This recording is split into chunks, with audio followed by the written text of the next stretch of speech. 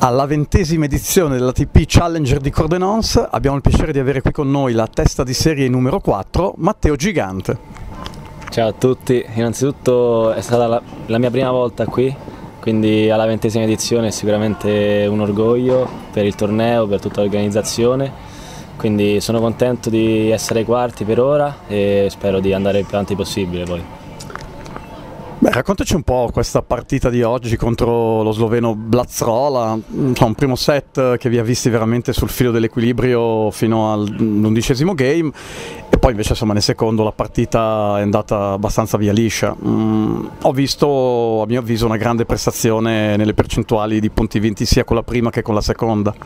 Sì, oggi è stata sicuramente una partita dura perché l'avversario ha comunque tanta esperienza, poi è sempre difficile giocare contro i mancini, quindi sono stato sereno, poi potevo chiudere anche 6-4 e prima però ho preso quel break, ma l'importante è che sono stato calmo l'ho rifatto subito dopo e poi ho chiuso 7-5 e poi il secondo set ho giocato veramente bene.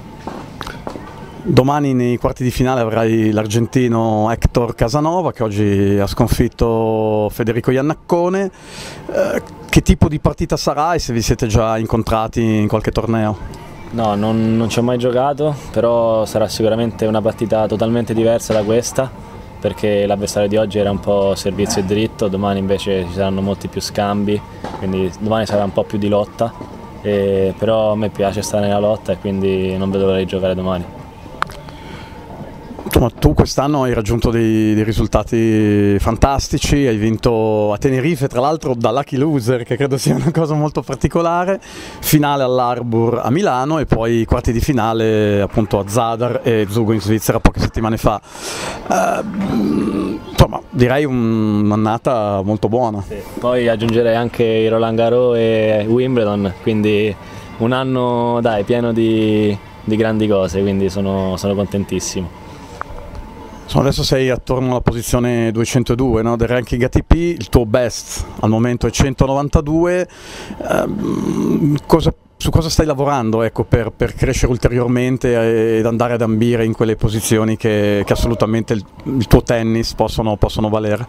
Ma sto lavorando su, sulla testa, sulla mentalità e poi sulla continuità che è la base di questo sport perché se non sei continuo non, non riesci mai a salire di, di classifica per esempio, quindi testa e continuità.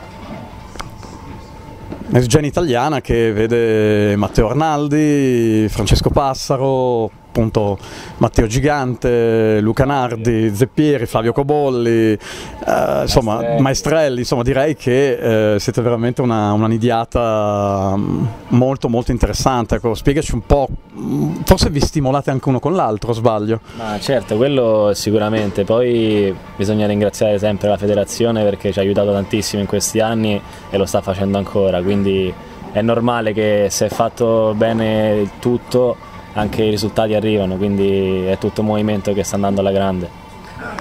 Sappiamo insomma che il tuo idolo è Fabio Fognini, ma non è solo il tuo idolo, so che c'è insomma anche qualcos'altro no, con Fabio in ballo, se non ricordo male. Beh, è il mio diciamo, manager, ha creato lui l'agenzia dove, dove sto, quindi sono contentissimo che lui abbia scelto me e quindi sono grato a lui perché da quando sono piccolo l'ho visto sempre giocare in televisione e mi ha fatto anche un po' un certo effetto vederlo, cioè stargli vicino ai tornei, anche andare a cena con lui, quindi sono veramente contento.